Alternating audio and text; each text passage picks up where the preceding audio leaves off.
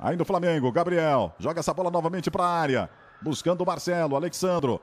Tenta ficar de frente, fez o giro! Gol!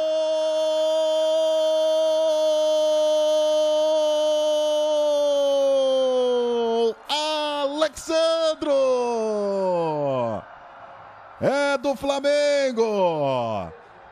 Ele dominou, esperando que alguém aparecesse de frente. Aí a festa do torcedor rubro-negro. Ele surpreendeu. Fez o giro e bateu. Veja aí, vai para a bola. Ele mesmo sai para o rebote. Esperando alguém. O canteiro leva a marcação. Ele... É, tirar o jogador da jogada. Cabeceou bem no canto direito do Paulo Vitor, fazendo o, o empate. Olha o Flamengo. Marcelo Cirino! Gol!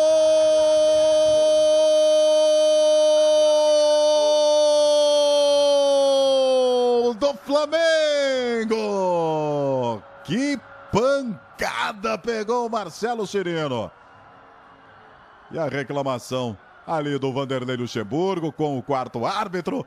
O Marcelo Cirino vai comemorar com o banco de reservas. Que felicidade do artilheiro do Campeonato Carioca. Olha toda a jogada, a movimentação no espaço vazio. Condição legal, ele faz o corte para dentro no meio. Gabriel. A enfiada de bola para velocidade do Marcelo Cirino. Saiu Santiago, ele conseguiu fazer o toque. Gol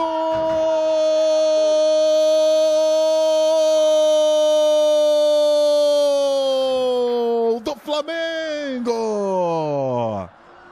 Como um raio apareceu Marcelo Cirino, vibra o Vanderlei Luxemburgo a impressão que ele não chegaria à frente do zagueiro. Ele chegou à frente do zagueiro, veja toda a jogada.